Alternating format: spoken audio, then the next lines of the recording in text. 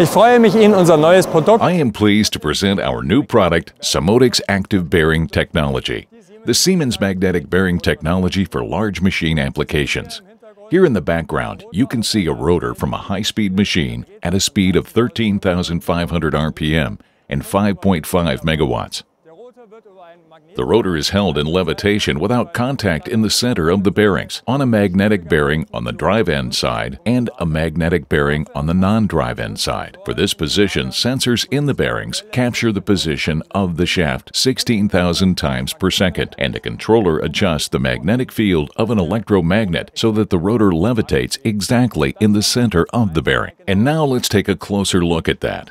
The fact that the rotor floats without contact and is not held in the axial direction allows it to move easily in the axial direction. Despite the weight of 1,300 kilograms, that is, the weight of a car, it can of course also be turned easily.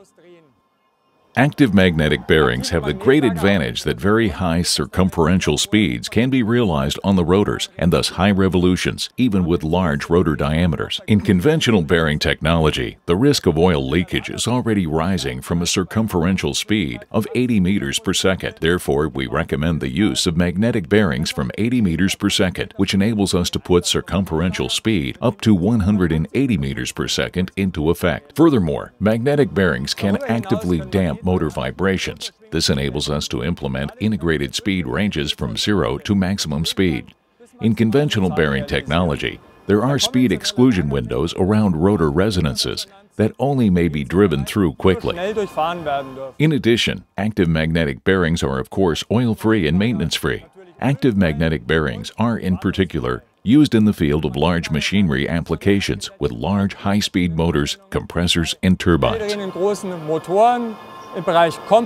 As such, active magnetic bearing technology is nothing new. The special feature of the Siemens magnetic bearing technology is that we use standard components from the field of machine tool applications. Here you can see the control units that are running the controller algorithm. Down here you can see the inverter that supplies electricity to the magnetic bearing. These components are sold more than 500,000 times a year in the field of machine tools. This is a very reliable and a very proven technique. In order to make them useful for our magnetic bearing applications, we have only changed the software. zu machen, haben wir lediglich eine Software. A SIMOTION controller is superimposed to the control units. The SIMOTION controller carries out the human-machine interface. It monitors the operation of the magnetic bearing and implements communication with the plant control system and the internet. Und mit dem Internet. Here on the screen, you will see that the rotor floats exactly in the middle of the magnetic bearings. This screen displays the temperatures. Of course, our SIMOTION controller can be flexibly adapted to customers' needs. Another feature of the active magnetic bearings is the capability of condition monitoring. Unlike plain bearing applications, magnetic bearings not only provide information about the rotor position, but also the information on the forces which affect the rotor. sondern auch die Information über die Kräfte, die am Rotor Thus, a condition monitoring is possible for the machine itself and even the customer process, and our magnetic bearings are already in use. Unsere Magnetlager sind bereits im Here we see a drivetrain which is used in the Groningen gas field for gas production. The drivetrain consists of a central 23 megawatt synchronous machine that drives two compressors.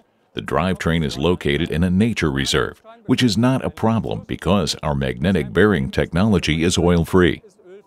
The continuous speed range that we can achieve with the magnetic bearings allows the customer to adjust the gas production on demand. The customer feedback on this application is extremely positive. The customer is confident in our product. I hope I was able to convince you of our product too.